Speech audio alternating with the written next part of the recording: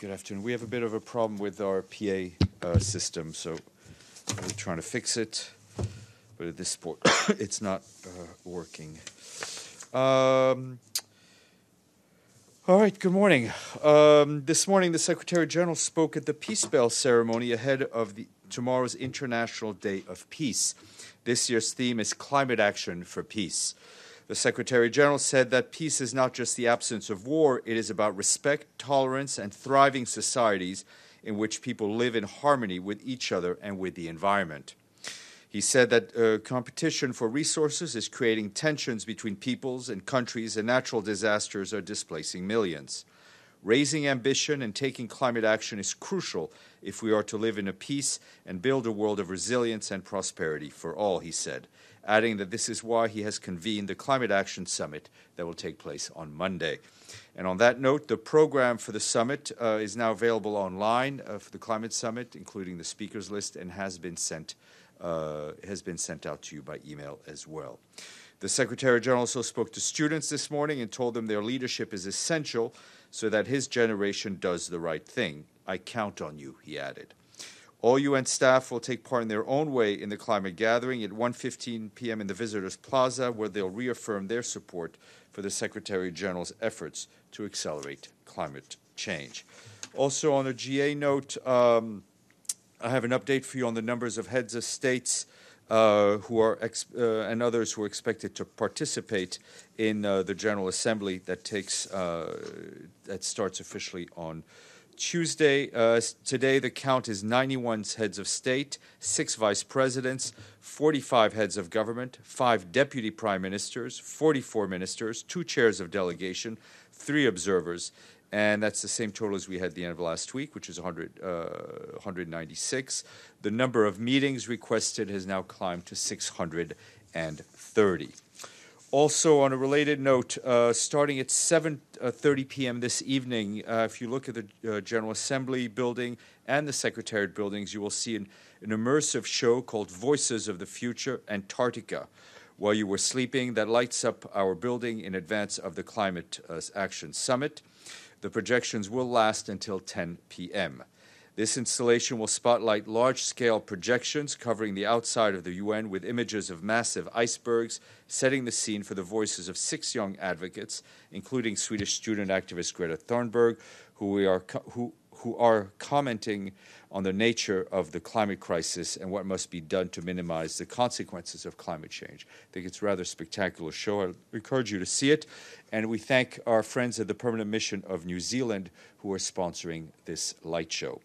Uh, and I also just to flag that obviously our office will be open and staffed uh, throughout the weekend, both Saturday and Sunday, given all the events that are going on. We will not be briefing.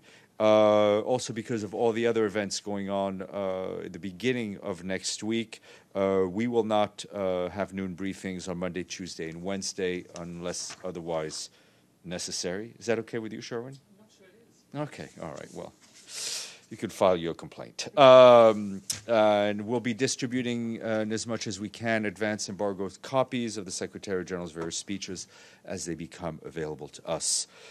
Uh, back here, Nikolai Mladenov, the special coordinator for the Middle East peace process, briefed Security Council this morning on the situation between Israel and Palestine as required uh, by, of the Secretariat under Resolution 2234. Mr. Mladenov noted the expansion of illegal Israeli settlements in the occupied West Bank, including East Jerusalem, continues unabated. He asserted that such expansion must cease immediately and completely, and he reiterated the Secretary General's concern over statements regarding the annexation of the Jordan Valley and the Dead Sea. Sorry? Yeah. Oh, my, my apologies. Uh, thank you. Thank you for paying attention, most importantly. Um, Mr. Mladenov unequivocally condemned all attacks on Palestinians and Israeli civilians, including settler related violence, and called on all sides to refrain from violence and to clearly and unequivocally condemn attacks as they occur, as perpetrators must be held to account for their crimes, he said. He added, as we approach three years since the passing of the resolution, we can only lament the worsening situation on the ground. His comments are available to you. Uh, on Mali, our colleagues from the peacekeeping mission there say they are concerned by the new wave of intercommunal violence affecting people in of Timbuktu's neighborhoods. The mission is supporting the response by the Malian security forces with coordinated action involving UN police and peacekeepers. They're also working with Malian authorities to ease the tensions. The mission calls for an immediate cessation of hostilities and condemns all acts of violence. Turning to the Democratic Republic of the Congo, the UN is alarmed by an increase in violence committed against civilians in the eastern provinces of Ituri and South Kivu. Dozens of villages have been burnt, and, we have report- and as we have reported to you, at least 250,000 people have been displaced over the past few months. In another worrisome development, the UN peacekeeping mission said they've had at least six night attacks against civilians in the past two weeks in Ituri's Djugu territory. Displaced people, including women and children, have been among those targeted. According uh, to data collected by the UN, close to 200 civilians have been killed in Ituri since June. Gang rape and other forms of sexual violence have been largely reported as well.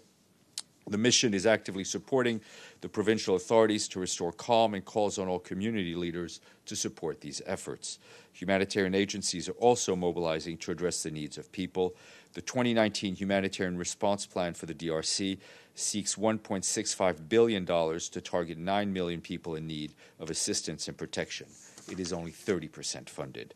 And UNHCR said today it is deeply concerned about the recurring violence against foreign nationals, including refugees and asylum seekers in South Africa. In, uh, the agency is working closely with the government and other UN agencies to, uh, and other partners to ensure the safety of refugees by deploying additional staff, emergency shelter and other supplies, psychosocial care, and legal assistance. Um, UNHCR calls on all state authorities to take every possible measure to ensure people's safety and welfare no effort should be spared to quell the violence and enforce the rule of law. It is also stressed that those responsible for committing criminal acts must be held to account in court. And in Venezuela, our colleagues at the UN Children's Fund tell us they're providing more than 300,000 children with back to school kits to help them in school.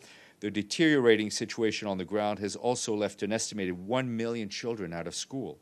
Over the coming 12 months, UNICEF, in tandem with national partners, plans to reach a total of 1.2 million children in public and subsidized schools across Venezuela with various educational supplies.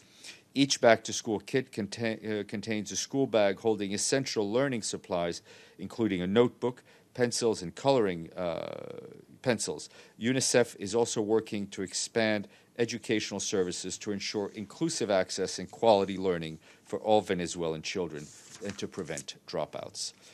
Um, and our colleagues in the Office of Migration say so far this year 63,000 migrants and refugees have entered Europe by sea. That's according to new data compiled by the agency. They note that almost 30,000, or almost half of the yearly total number of people, have arrived in the past nine weeks. Four out of five migrants or refugees enter Europe through Greece or Spain, with others arriving mostly through Cyprus, Malta, and Italy. In related news, IOM condemned yesterday's death of a Sudanese migrant in Libya. The man was shot hours after having been returned to shore by the Libyan Coast Guard. And the World Food Program tells us that in August they reached a record 12.4 million food insecure people in Yemen with food assistance, which is the highest number they have reached so far in the country. WFP says it needs $600 million to ensure uninterrupted food assistance for the, past six, for the next six months until February 2020. Without more funding, WFP will have no choice but to reduce food rations to families starting in October. Um, and uh, just uh, what do I have more to you? Uh, in a short while, I will be joined by David Nanopoulos, the chief of the treaty section in the Office of Legal Affairs. He will brief you on the annual treaty event uh, that always takes place during the General Assembly. And um, this week's this year's treaty event is devoted to the promotion of the 17 SDGs through multilateral treaty framework. And lastly, today we thank our friends in Praia for full payment of the 2019 budget, taking us to a total number of 126 countries. Um, what? What I just said 126. That's not the question. The question is Praia is the capital of which member state? I, I have all day. Cabo Verde. Ah, all right, all right. Oh, go ahead, Sherwin. Yes. Steph, thanks so much. Um, the Cuban mission to the United Nations is uh, calling the expulsion of two of its diplomats a violation of the UN headquarters agreement. Had they reached out to the United Nations? What say you about this move by the United States just ahead of GA? Yes. Uh, sorry, bear with me two seconds. I knew it was Cabo Verde. Uh, sorry, it's uh, this is a serious matter. Uh, yes, we have seen the announcement by the U.S. government uh, of its decision to request two members of the permanent mission of Cuba uh, to the UN to leave the country, and the imposition of travel restrictions on all members of the mission. I can confirm to you that the U.S. mission uh, to the UN informed the Secretary today of that decision and of the fact that they had taken this decision under Section 13B of the UN US headquarters agreement. Uh, given the sensitivity of the issue, we will not comment further at this stage, other than uh, confirm that we'll be closely following the matter. Uh, I would add that the headquarters agreement is a public document. We have copies of it if you want to consult that particular section. So, no point in a follow up then? Exactly. Um, yes, Celia. One of the, the main uh, questions is, of course, is this is an investigation It is done by the United States and and. So what, what, what are you um, Cuba. Oh yes, okay. Sorry. He, I'll do a follow up.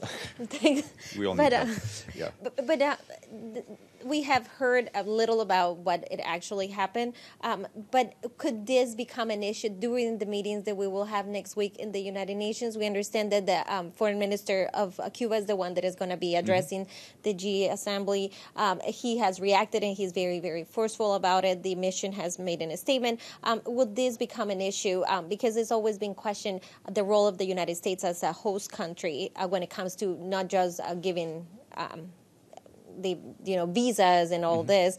But um, would could this be a concern for for um, the Secretary General? Look, I, I, there, first of all. Um, the U.S., United States, is one of a number of countries that is host to UN headquarters. So there are standard procedures in place and treaties uh, and agreements in place with all the other headquarters uh, duty station.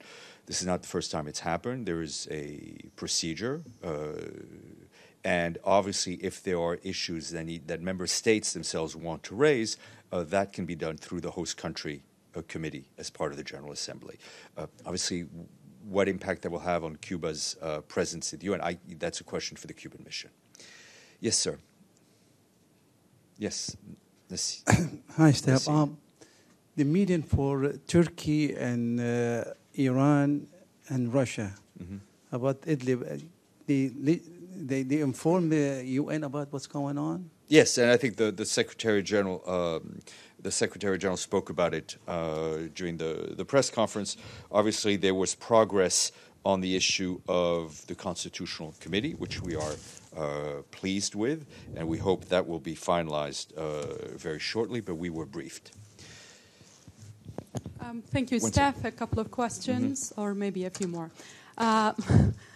Do you have anything on the SG's meeting with the Turkish foreign minister today, and also anything on Mr. Pedersen's uh, UN special envoy for Syria, his upcoming visit to Damascus on Monday? And uh, President Trump is hosting also an event on the religious freedom on the same day as the climate summit. Will the SG attend there? And one more question Do you have any concerns that the climate summit would be overshadowed? Okay, uh, let's take them in the order that I remember them. Um, the Secretary General did meet uh, with the Turkish foreign minister this morning. Three broad issues uh, came up uh, Syria, Cyprus and the Alliance of Civilization, which uh, we are thankful for the Turkish government's uh, support of. Um, on uh, on Syria, I, I, think they they discussed the situation, the the the. what we hope will be the soon the completion of the constitutional committee, what the Secretary General has already uh, told you. Mr. Pedersen um, obviously will go, from what we understand, will be going to for consultations in Damascus. that's an important step in that process. We will we will see what comes out of that, but um, we hope that will be positive news. Uh, on uh, on Cyprus, I think the Secretary General reiterated the points he really made to you publicly: is that he will have uh, meetings. Uh, during the General Assembly, uh, during which Cyprus Cyprus issue will will come up, his his goal, his ambition for the Secretary General is to help create the conditions that could lead to the resumption of talks, and he's also looking forward to meeting all the all the concerned uh, parties. Uh, yes, sorry, the the, the other one. Uh, yes, the Secretary General will speak um, at the uh, meeting organized uh, by the United States on religious uh, freedom on Monday. Um, no, I, you know, I'm not concerned or see it as an effort to to overshadow the the climate summit. I mean, you've all covered General Assemblies in the past. You know that uh, during the General Assembly, there are often many important meetings going on uh, at the same time. This is what we do during this week.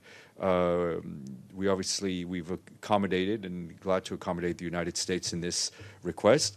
At the same time, the, we very much look forward uh, to the climate. Um, the climate meeting. The Secretary General will open it, uh, and as mentioned, you have the you have now the uh, the speakers list, and you will see that it's quite of an impressive show of climate leadership. Yes, sir. Uh, Simon Ateba from Today News Africa, Washington, D.C. Uh, Cameroon seems to be in a real mess now. The president has been in power for 40 years, and the Anglophone crisis has left so many people dead and hundreds of thousands displaced to Nigeria. President Paul Biya of Cameroon is going to be here at this UN General Assembly. Is there anything the UN is doing to put pressure on him to bring lasting peace to his country? First question. Last question. Nigeria is also in a real mess. Uh, a lot of political activists are right now detained. We have journalists in jail, we have politicians in jail, and President Buhari is coming to the General Assembly. Is there anything the UN is? Well, I mean, on Nigeria, the Secretary General will obviously have uh, will have a readout. We'll have a conversation with. Uh, looks forward to having a meeting with President Buhari. A number of issues will be discussed. On Cameroon, I, you know, um, we look forward to these discussions. The Secretary General has uh, expressed his concern about the situation in the Anglophone uh, areas. Uh, we have pushed for dialogue. We also know that the High Commissioner for Human Rights, especially, went to Cameroon, and we fully support the work that she's doing. And we also have quite a big humanitarian presence there. Abdelhamid. Thank you, uh, Steph. Uh, first, is there any update on the visa for President Rouhani and his. I mean, I, I, only know what I've seen in the press, which I understand is that they were they were granted. We have not been involved at this point. Okay. On the 26th, there is ministerial meeting for UNRWA. Would the SG be attending this meeting, and would he speak? If yes, he the Secretary General will speak. I mean, the, the Secretary General has been a tremendous advocate for UNRWA for the work that UNRWA does every day uh, in the various areas in which it operates. He's a strong believer that UNRWA is a force for stability in a region uh, that is perhaps not as stable as we would like it to be, to, to for a slight understatement. But would um, the Commissioner General, I, I don't, I don't, I don't know, but I know the Secretary General will be there to represent uh, the United Nations and to show his personal commitment uh, to UNRWA and his call for member states uh, to support UNRWA's work with the financial resources that it needs to make sure that clinics stay open and that children can go to school and learn. Senora. I'm sorry, Steph, but I have to follow up. Don't be sorry. be happy. the Cuban Minister of Foreign Affairs and the Cuban mission say that the expulsion of two diplomats and the greater restriction of movement of the rest are aimed at provoking a diplomatic escalation leading to the closure of bilateral embassies, further tightening the blockade, and creating tensions between the two countries. Does the Secretary General have any comment on that? Could you? Look, I, I think this is. Uh, this is an issue that we're obviously following very closely. We've been informed by the United States. I will have to check if uh, our colleagues in the Secretary and the Legal Affairs Office have also been in, been in touch uh, with the Cuban uh, mission, we're always open to, to meeting. Uh, there are um, rules that govern the hosting of the United Nations in the United States, as there are rules that govern the hosting of the United Nations in Geneva, in Nairobi, and, and Vienna. There are treaties that need to be uh, observed. If there are issues, those can also should you know can be brought up through the host country uh, committee of the General Assembly. Sir, and then. Good afternoon, Steph. Let's go into West Africa. Um, over the weekend, the uh, Organization of West African States, ECOWAS, they pledged $1 billion to fight terrorism in the West African region. Um, what is the Secretary General's reaction to this, and will he um, use the, any MINUSMA troops to work jointly with ECOWAS for this problem? Well, we, we obviously uh, support the effort of ECOWAS. We welcome uh, this pledge. The Secretary General has been calling for greater support to those states, notably the, the so-called G5 Sahel states uh, that are fighting uh, various extremist groups. Uh, he believes that those forces should receive predictable funding and, it's, and, and support, which is very, very important. Um, the UN will work uh, in, in Mali, where it has troops uh, with, uh, with the local authorities, but it is important to, to state that the, the mandate of the uh, UN peacekeepers is not a counterterrorism operation. Uh, they have a very specific mandate. They have, however, borne the brunt of um, uh, of some of the violence. I mean, the, the, civilians have borne the brunt, but they have been hit. Our peacekeeping colleagues have been hit very hard. And as you know, I think that mission has the highest rate of fatalities uh, from the hands of extremist groups in, of any peacekeeping mission. Yes, sir. Thanks, Stefan. Um, also, regarding the expulsion of the Cuban diplomats, uh, you told us the U.S. was in communication with the UN on this matter.